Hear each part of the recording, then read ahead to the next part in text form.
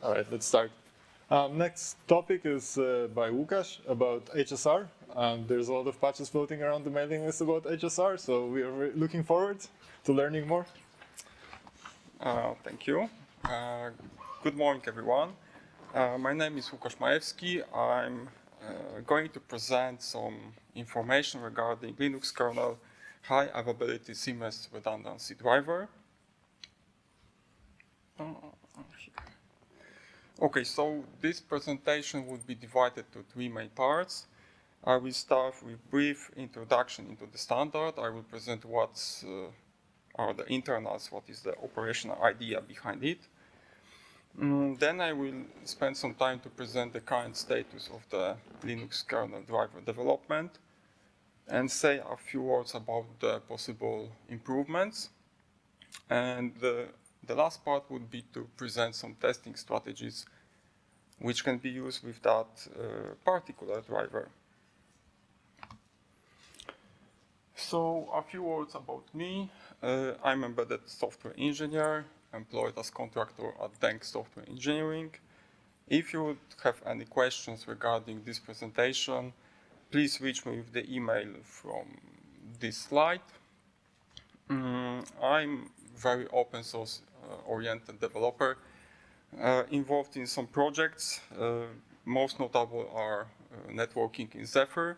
This is the T1S and DSA subsystems. I'm long time U-boot developer with some experience in the DFU and the USB uh, stack. With Linux, recently I'm doing the networking, some DSA and the HSR itself. And with the glibc, I help with the year 2038 bug fixing for 32-bit systems. So this is the short introduction. Let's start with the glossary. Uh, the HSR, high availability seamless redundancy, um, is built from nodes. We have uh, uh, DANH, which is doubly attached node for HSR, and SAN, which is the singly attached node. The SANs uh, are representing networks which are not HSR uh, supporting. I will call them standard Ethernet. And if you want to, if we want to connect the uh, DANH with SAN, then we need red boxes. Those are special devices which allow the communication uh, with two sides of, of that networks. And the red box is the abbreviation for redundancy box. Last but not least, there is, there is very similar in principle and properties uh, protocol to HSR. It is the PRP, Parallel Redundancy Protocol. So what is the rough idea behind the HSR driver itself? Uh, we have nodes uh, on the network, and the network topology is uh, ring. Each node uh, has two Ethernet ports, and those two Ethernet ports, they form single SAH, SAH, uh, uh, port. In principle, when we want to send data from the uh, node, example here, uh, the frame is uh, passed to the, the data is passed to the SH, uh, driver, and then the frame is duplicated. So we have, we send exactly two copies to the network, one on the one Ethernet port and the second one to the second Ethernet port. In that way, we have two copies flowing in the network. And then the destination node, uh, for example here, is receiving either two copies, and then it decides if one shall be discarded, or because of some failure, uh, for example, node is broken or the connection is broken, it only receives one copy. And this is enough. The networking still is working.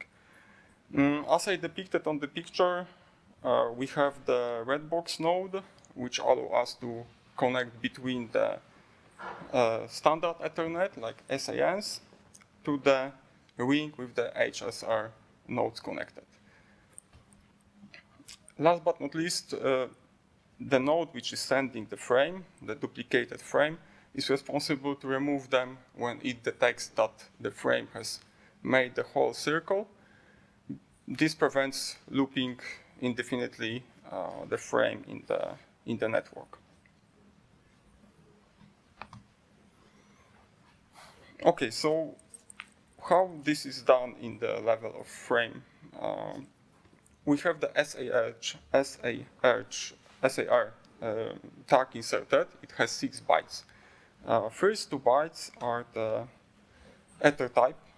In our case, this is the 0x89-F. Then we have the path ID, which specifies the direction in which the frame was sent. We also have the frame size, because we can have different uh, HSR frames.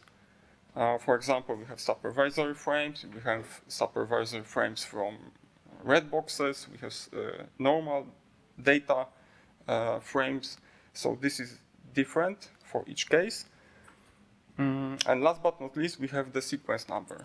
And this is crucial because sequence number uh, in conjunction with source address allow us to assess if, the, if we already received the uh, copy of the frame and the copy which we receive afterwards can be dropped.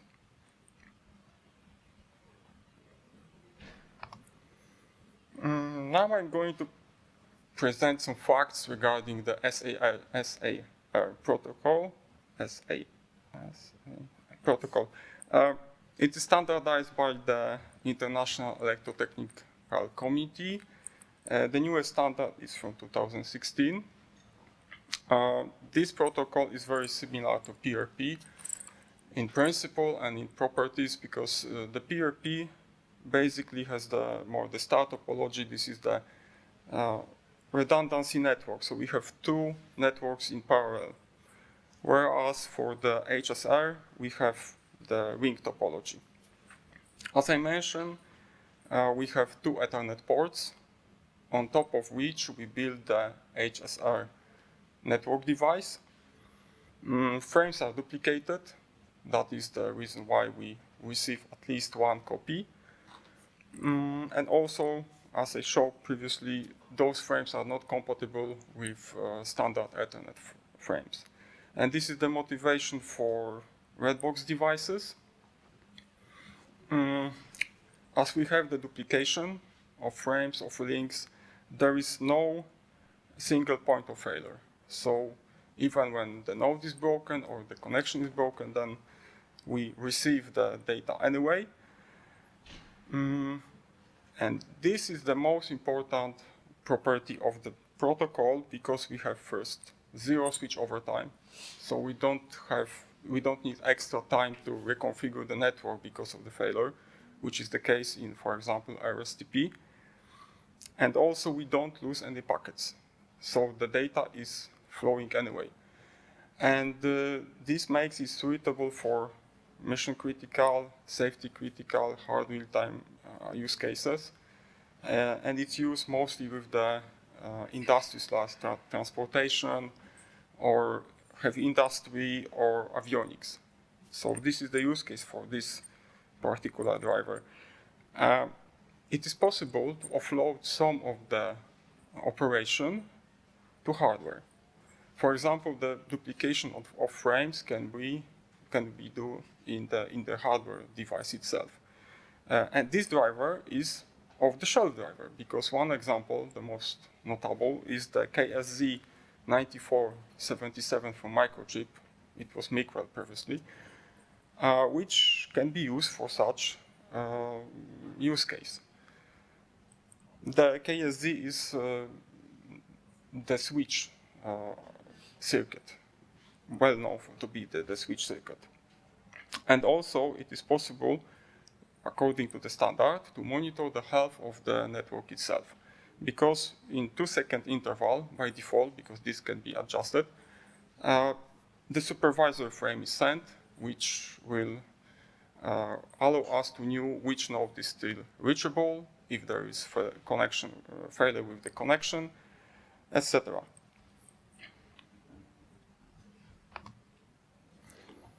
So our, what are the features of currently implemented driver? Uh, this driver supports the HSI version 0 and 1, uh, as well as PRP. And this is done in pure software. So this can be done in pure software. This is one case. Mm. Also, the Redbox support has been added recently. Uh, one thing to note is to have the pretty recent IP Road 2 uh, program. 6.10 already has the support to set up the Redbox with the IP command. Mm. The HSR driver can closely cooperate with DSA driver, which has the uh, hooks or callbacks for setting up the HSR uh, protocol support in the switch port. Uh, also, the red box is filtering some traffic which is not supposed to be received by the other side of the uh, network. For example, the HSR traffic shall not be delivered to the normal uh, Ethernet uh, port when not needed, and in opposite direction. This uh, helps with improving the performance. And as, as I say, there is offloading support. Uh, the KSZ9477, it uh, has hardware support for uh, duplication of the frames and also to send frames, one frame to the to two uh, HSI hour ports. So this is done in uh, hardware.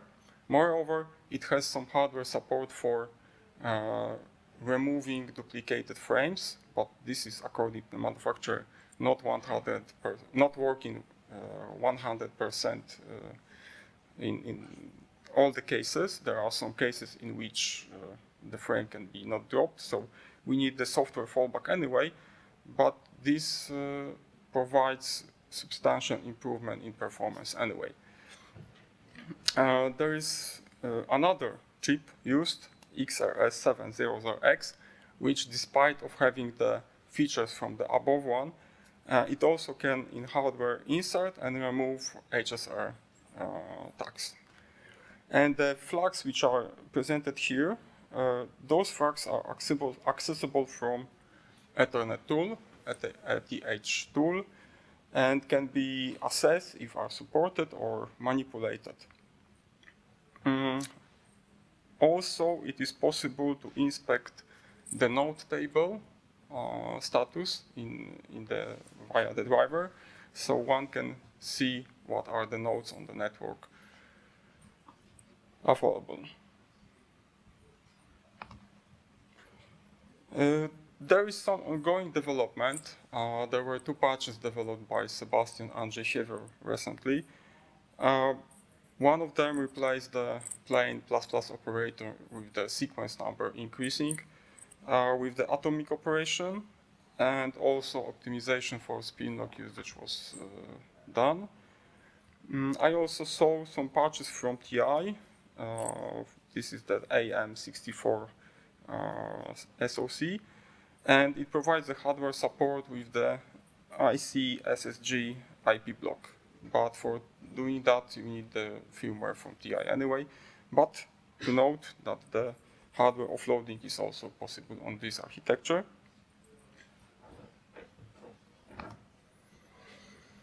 Mm, now I'd like to delve into the testing uh, because I think this is quite crucial in this in, for this driver.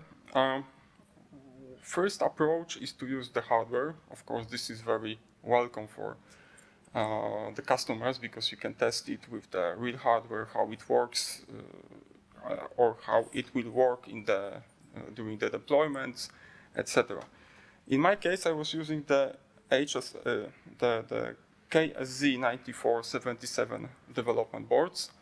Uh, I was able to set up the connection with and without hardware support. Uh, offloading support for the uh, driver. So one, it was possible to use only software emulated HSR and then to use the hardware, uh, hardware offloaded use case. Also, there was the uh, port, tilt port, uh, to model the Redbox case, to connect, uh, to communicate with the standard network, standard Ethernet network.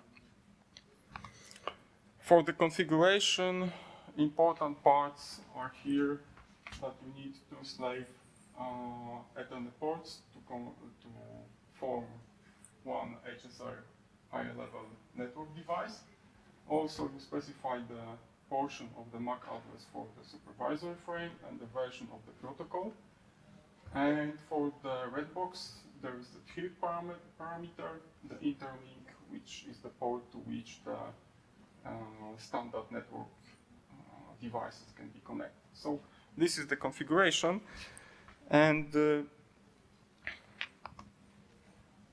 um, when I had that all connected, I did some measurements, maybe to uh, be sure how, how good it works. So I was using the nuttcp uh, program. In my use case, uh, it was uh, 100 megabits per second, the maximum speed. Uh, for the transmission. So with hardware offloading enabled, I was pretty close to that value. But when we only use the when I only use the software, then the performance dropped, uh, I think, considerably, and uh, it was uh, possible to see the difference in in the operation. Now the second case, I think, even more interesting. Uh, this is the case with using the QEMU. And this particular diagram is from the uh, already available in the Linux kernel 3 hsr underscore redbox file. Mm, what we can see is that we can model the small HSR ring. Uh, this SHR ring is connected to the switch, to the, sorry, to bridge, and uh, we have some uh, standard network devices connected to the bridge. So the um, the topology is pretty, maybe not very complex, but it uh, reflects the normal use case, for example, uh, for the HSL driver.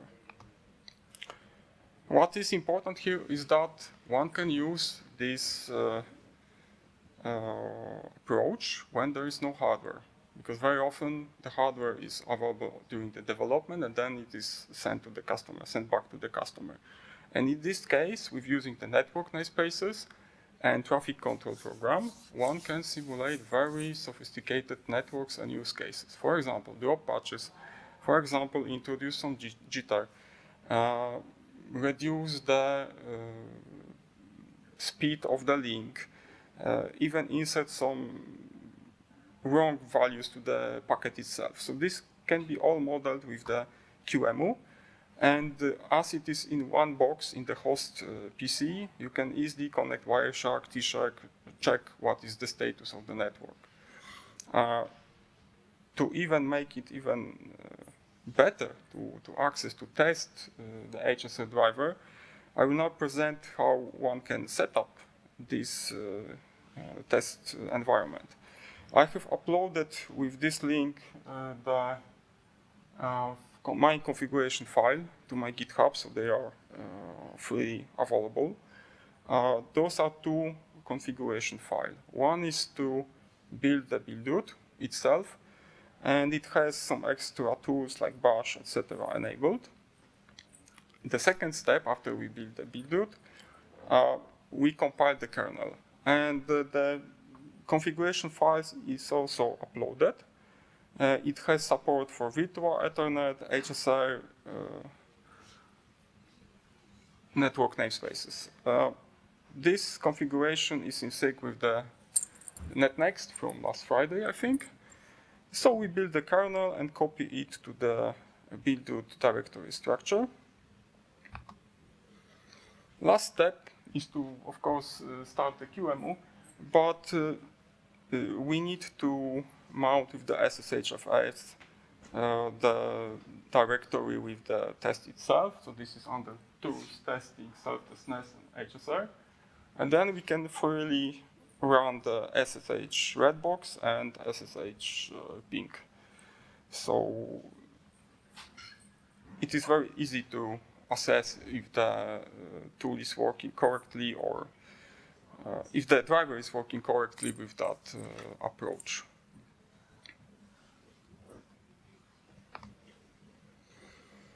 Okay, so what are the future enhancements. Uh, first of all, the node table is available uh, to the debugfs, and we discussed it on the mailing list that this is not the best approach.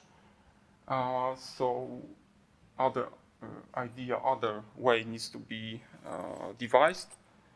Uh, also, the, that is the reason why the proxy node tables from red boxes are not accessed yet.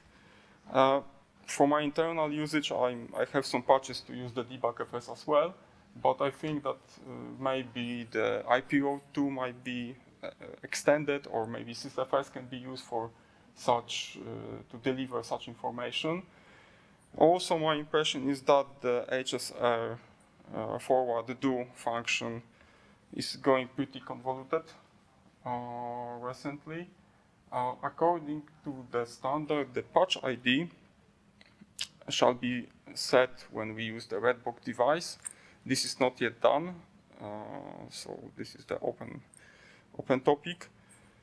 Mm, also, there is the um, maybe it would be good to separate the PRP and HSR specific code because for now we have the HSR underscore file names which start with the prefix of HSR underscore and this is a bit misleading for somebody who doesn't have the uh, experience with that driver itself. Somebody reached me via private email with the question if I'm planning to add the Redbox support for PRP. And unfortunately not because this was, the PRP itself was out of the uh, spec for my project. And also I think that uh, at some point we would need to provide the uh, support for VLAN and P2P in the HSR ring. Uh, my personal impression is that the P2P demand will be sooner than the VLAN. Also, it would be good to model the quad box operation with the test scripts, because I did not do that. Uh, but this is interesting to check if the two combined red boxes can form the quad box. And also the driver itself is orphan. Uh, it is developed ad hoc, in ad hoc manner when developers have some work related to this particular driver. So this also could be improved. Okay, to sum up, uh, as I say, the SHR driver is actively developed. Uh, patches are flowing, maybe not very high volume, but from time to time there are fixes, there are some enhancements. Uh, it is also possible to uh, use the hardware offloading. Maybe good uh, starting point and good reference is the KSZ9477 because it shows the way to add the support for chip which might be used in that case. Uh, my impression is that there is uh, some rising interest in the industry to have the open source PRP and HSR uh, driver available. And also the QEMU-based test setup is really sophisticated, might be really sophisticated, and is a very good tool for validation and to prevent regressions. So those were my uh, points of the of the presentation. Now it's time for the questions. Thank you.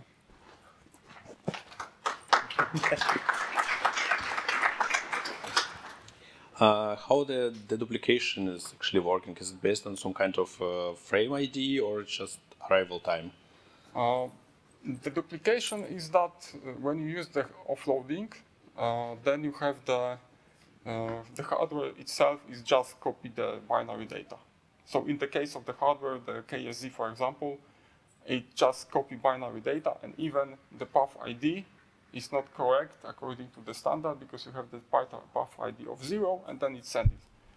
So this is like one way. The second way is that in the driver itself, it just copy binary data uh, when you have the interface before you send it to the. I mean, deduplication. Ah, deduplication. Yeah. Okay, sorry. So the deduplication is that uh, mm, you use the destination address uh, no, the source address with the sequence number. So you have the in, in buffer the number of received uh, frames, and when you see that okay, I have already received that from that uh, source address with that sequence number frame, then when you receive the another copy, then you knew okay, this is already served, and you toss it away. Are there some kind of uh, maximal timings between arrival time to Oh. duplicate it, deduplicate it correctly? I think there is specified by the standard, but I would uh, need to delve into the. For sure, there is like the information stored in the uh, node, which receive the data. You have the list uh, and some cache with the frames available. So you just have the information what what was received, and then uh, by using the destination, the source address and sequence number, you just remove it. And one more question: How PTP is expected to work there? I saw some presentation from Cisco that uh, you need to hack the way that you receive the frames because you have the duplication, so you don't know which one is the correct one. And uh, you would need to delve into the uh, received frame and then make the adjustments. This is done already with the Cisco, but uh, they advertise this, but I was not thinking yet how this can be moved to our uh, driver. Because uh, if I imagine it correctly, the path of the frame inside of the ring has uh, some unexpected uh, latencies inside of the switches. And as far as I know, cassette switches do support transparent clock, but only if DSI is disabled. If CPU tagging is disabled, then the transparent clock will work, and if not, then I don't know. I mean, my impression is that for now the demand was to have the HSR from the Linux kernel with hardware offloading and pretty good performance, and that was the, the case here.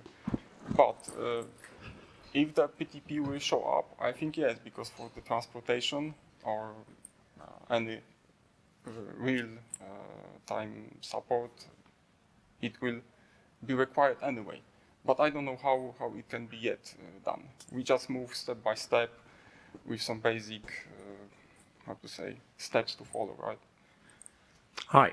Um, there is a specification for PTP and HSR, and I've been working on this for like two years ago, twice, and it cancelled. Got cancelled twice. Um, you need to uh, patch Linux PTP like big time to uh, support transparent clock and dual clock and whatnot. Uh-huh. And I have no idea how to get it done in the kernel. You need um, the Linux way. You have the sequence number is that the highest one wins. That's why you have to send in one by one and shoot the last packet uh, left, and they got not not to get reordered. Um, either way, you need to send packets from uh, userland which get uh, duplicated on both links, and you need to have one-to-one connection on both sides of their Ethernet link to get one-to-one connection for the clock. Okay. I'm not as far as doing code. I have the specification, I think, um, this year. And then it got canceled again because um, the more nodes you get, the slower it gets. And then people say, no, it's not worth it. Okay. So this is the open question if there is the. Right. So this is what you need to keep in mind if you ever try to implement it. Okay, so the performance drop is. Uh, Well, the performance drop is because you need to, um, say you have 20 nodes, right? Then you have to copy the packet and it gets slower and slower with each node. So each one I know that are using this in production have um, FPGA with cut through. So what you get in Linux is um, all set. okay. And you don't worry about anything else. Um, TI, with uh, what you presented, I'm not aware of anything recent.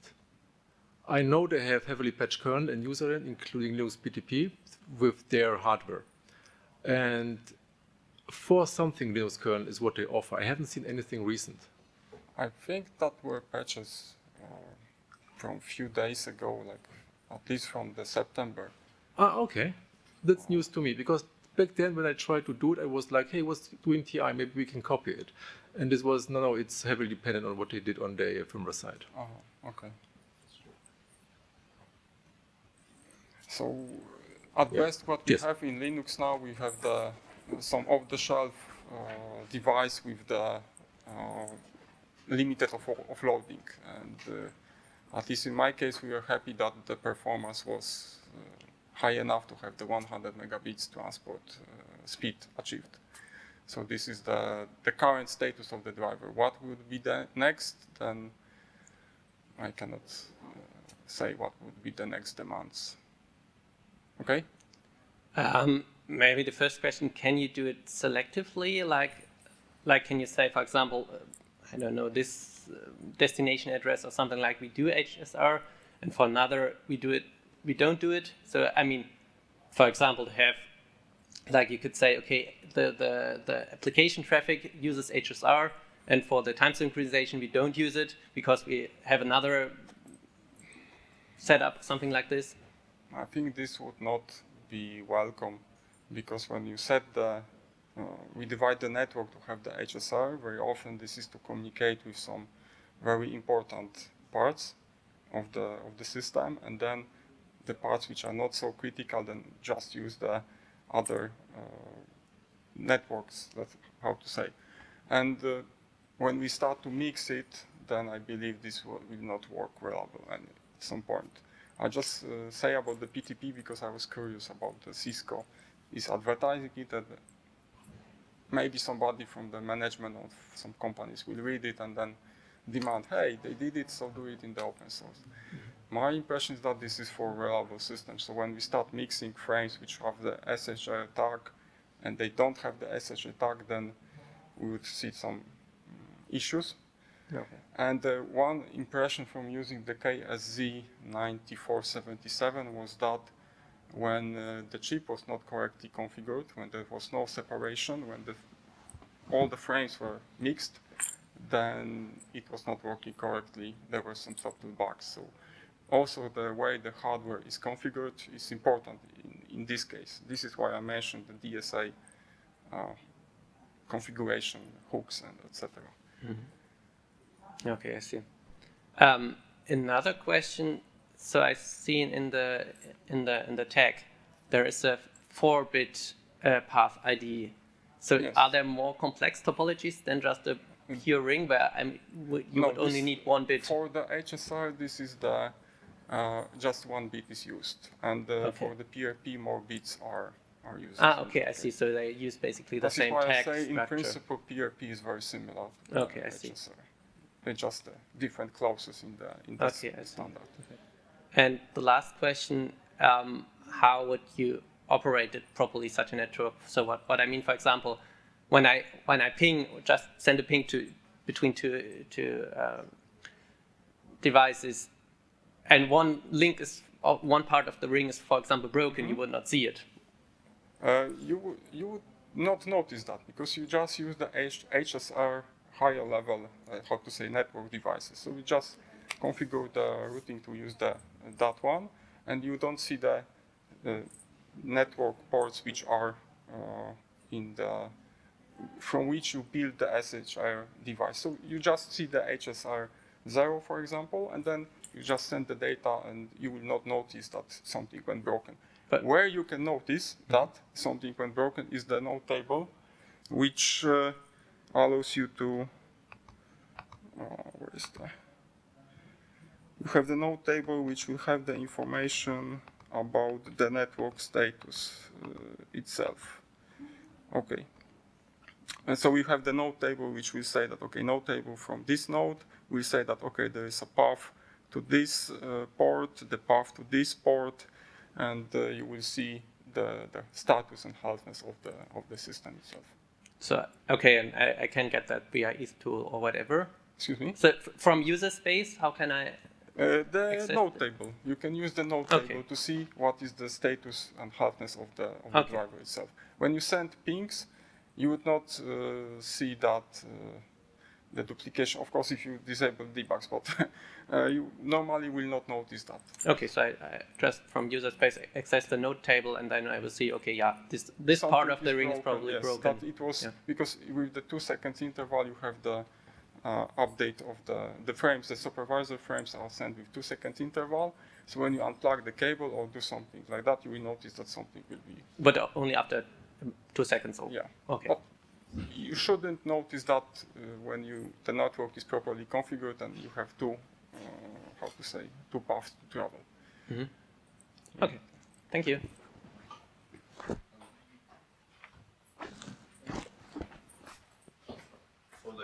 Not table is actually a table, but uh, what is actual user space tool? Uh, no, this is exported via the debugFS. So it's like Oh. a file that you can cat and, and see. But, but I hope there is a plan to use uh, IP route or something netlink interface to. That was the discussion because my first approach was to just use the same API, Yeah. to use the same file. For example, it's, this is exported as file, so we cut it and you see what is the status. And for red boxes, it was also required to see the net, the IP address, uh, MAC addresses uh, for the nodes which are connected to the standard Ethernet. And I was planning to use the same uh, way to do that. But then on the list, it was replied that the, the debugFS is for debugging. This is not used for Yeah. like production. And in, when this is done in that way, that you use debug debugFS, then you force somebody, or there is a temptation from the uh, how to say industry to use it as a fixed API. API. Yeah, good. And maybe the IPO tool can be extended, or I think Andrew Lunn also proposed maybe some other program, like we have the program for managing the database for the uh, switches, uh, can be done in that way. So this is the open question. Maybe SysFS, but I don't know uh, if can be used for, for this. I um, diagnostic fan, so I like uh, to, to make uh, diagnostics which uh, works in embedded devices and automatically without inter- interaction of the human. Uh, and uh, I just uh, trying to imagine how to uh, diagnose this kind of issues as fast as possible. That there is a regression in the uh, ring, Uh-huh. and uh, in this case, I can imagine that uh, the, the kernel uh, need always uh, watching what is the state of the neighbor table or whatever table name is it, and uh, if there is a changes, then push some kind of broadcast uh, notification over netlink to the user space that oh there are I mean, changes. As, as I say, on the very beginning, uh, the demand, the, the requirement was to have the full speed uh, HSR with the ring support, uh, red boxes with the 100 mega bits per second.